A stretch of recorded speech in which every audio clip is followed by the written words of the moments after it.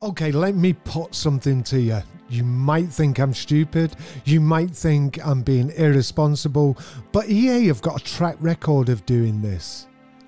What do you think, or what would you think if I said to you that EA are purposely trying to close the Battlefield franchise? Because for me, they wouldn't have put a game out like 2042 if they still loved the franchise and they still thought that it had some legs. Battlefield 5 was a mess, and we know how quick they abandoned that.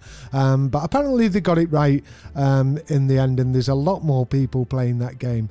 But I've got this sneaky feeling that Battlefield is going to sort of disappear in the next few years. And I think it's EA. And one of the reasons I think that DICE one of the branches of DICE has changed the name to Ripple Effect. I think they're going to be kept, and I think the rest of DICE is going.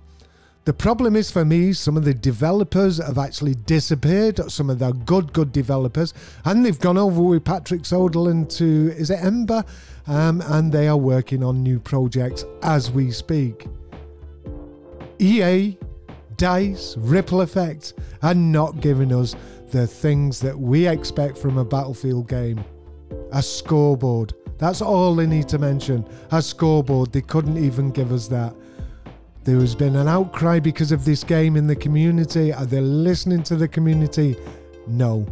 Things are going from bad to worse if you use Logitech software on your machine, if you use MSI software on your machine, you play Battlefield 2042 and it's in a raffle, a gamble that you might be flagged false positive and banned because you are using that software. What did EA do? What did DICE do? They closed down a thread with 160 something pages of people asking why they got banned. And Tom Henderson uh, researched this and he, you know, it equated to the fact that people were using aforementioned pieces of software. Do EA care? Do DICE care? It doesn't seem so, does it?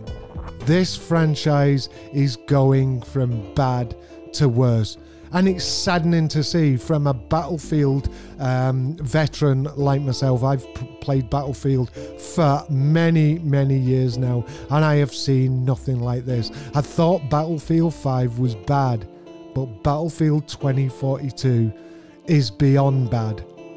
Look, I understand that sometimes they've got to make choices and they've got to make changes, or they want to make changes that may, they think, enhance a game. 128 players. I was looking forward to that. A lot of other people that I know were looking forward to that. Bigger maps, we thought it was going to be epic. More destruction, we thought that was going to be epic. It didn't work. 64 players they brought out again to let us, you know, tease us with um, game modes with smaller, more condensed maps and 64 players. We loved it. We wanted that. We asked you to leave that in.